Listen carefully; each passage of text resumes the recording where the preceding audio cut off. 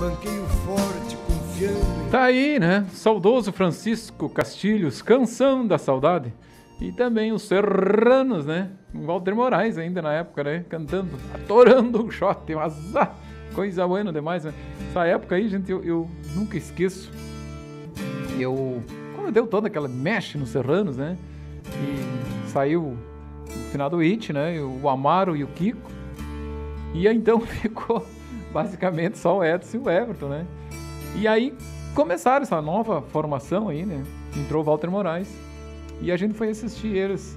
Na época eu tocava com os Novos Gaúchos, fomos assistir eles em Santa Rosa, lá no Centro Cívico. E ainda por coincidência, né? O grupo tem aquelas fases, né? Aí tinha falecido o Rodrigo, que, que era irmão do, do Jefferson Fogaça, né? Aqui de Cruz Alta. Gaiteiro Gaita Ponto morreu no acidente. Entrou no Serranos, acho que foi questão de 60 dias, deu esse problema no acidente e você foi, né? E aí era o disco novo, e turma nova e tal, e o Edson fez essa, aquela homenagem, né? Ao Rodrigo. E a música, escutando ela assim, já, já é uma música que, que a gente se emociona, né? Mas eu, quando vi eles tocando ao vivo ali e o, e o Edson declamando, gente, não teve. Teatro todo veio a lágrimas, né?